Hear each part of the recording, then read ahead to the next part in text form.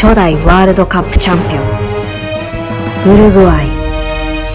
ウルグアイ人にとってサッカーとは生きがい。宗教。いやそれ以上だ。そう。ウルグアイ人にとってサッカーは人生の一部。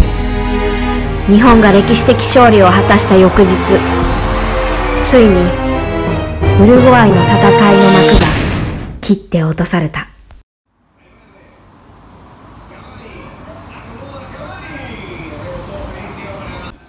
通りを歩いてみると見事にみんなテレビを見ていました。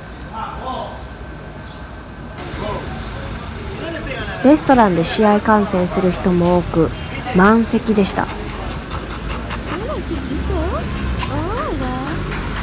昼からビールを飲みサッカーを見る。どうですか？ウルグアイに行きたくなりましたか？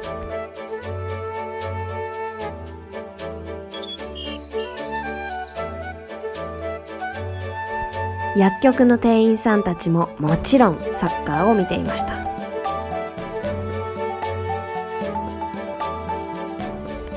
こちらの美容院でももちろん試合観戦。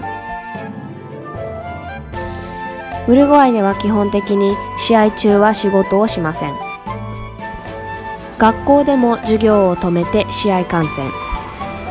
学校によっては朝90分だけ授業をして早帰りなんていうこともあります。八百屋さんでももちろん試合観戦。この時間に来るお客さんたちはサッカーに興味のないマダムたち。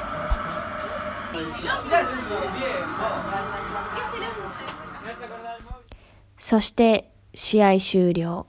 引き分けとなりました。その時ウルグアイ人たちは嘆き怒り狂うのか今八百屋さんであのサッカー見てたんですけど引き分けって分かって終わった瞬間ささささってもう何も誰も何も言わずに仕事に戻っていくって感じがその勝ったらすごく一緒に喜べたと思うんだけどなんかちょっと怖い。何も言えない。怖いから何も言わないみたいな。何て言っていいか分からず何も言わず私も去ってきました。ここのマーケットは毎週木曜日に開催されていて多くの人でにぎわいますが今日は試合終了直後ほとんど誰もいませんでした。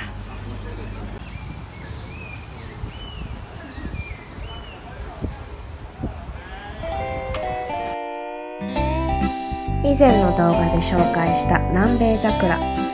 ついこの間までとても小さい木だったはずなんですが急に大きくなったような気がします。街のあらゆるところで国旗を目にします。ウルグアイは今ブーゲンビリアが満開です。こんなところに選手が。と思ったらピザ屋のお兄さんたちでした。ウルグアイサッカー協会のロゴも見事にピザ屋のロゴにすり替わっていました。ちなみに好きな背番号が選べるそうです。こちらのドーナツ屋さんついにビーガンドーナツが新発売ということで来たんですが売り切れでした。ウルグアイにはサッカーが好きじゃない人もいます。なぜなら情熱的すぎるがゆえ暴力的な事件を引き起こしてしまうことがあるからです。ちなみに私はフォルランが好きです。なぜかというと先日フォルランとスワレスが出演する CM のエキストラをしたのですがただのエキストラの私たちともフォルランは何の隔たりもなく話してくれたんです。日本語で写真？写真？すごーいと言って気軽に写真撮影に応じてくれました。しかもその場のスタッフさんに今僕は日本語で話してるんだからと言って場を和ませていました。こんな素敵なレジェンド他にいる？ということで一日でファンになりました。さあいかがだったでしょうか？今回はワールドカップウルグアイ初戦の街の様子をご覧いただきました。試合中は仕事をしない授業もないなど日本ではありえないことがウルグアイでは常識。実際に私の日本語のクラスも全て時間変更になりました。残りの試合も楽しみですね。平和に終わることを祈ります。では最後までご覧いただきありがとうございました。チャオ